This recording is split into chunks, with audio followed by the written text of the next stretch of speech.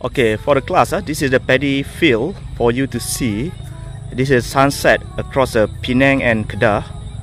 So the border of Penang and Kedah, this is a paddy field you want to see, but you cannot see the paddy yet.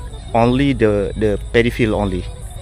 But this is the real condition of that. Okay, this is the paddy field, uh, which is you can see very closely this paddy. Yeah, they are not harvest yet. This paddy is not harvest yet, so you can see the yellow and green all around the place. It's very beautiful.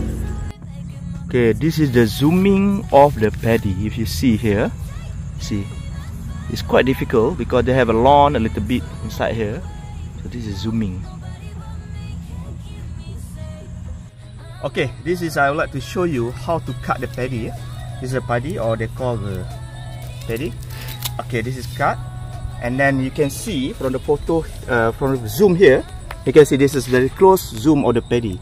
And I'll bring this to the class tomorrow. Okay, this is the rice harvest machine. This is functional. It try to harvest the rice from the, uh, the straw and then we remove the rice from the straw and then put into the machine for the process and then we'll send to the factory for the process to get the rice. Okay, this is uh, how they dry the paddy. Put inside here, you can see here. Yes, very nice. Okay, after they finish harvesting, uh, they will burn all the straw or they call jerami before they can uh, reclaim the land for the new replantation of the rice.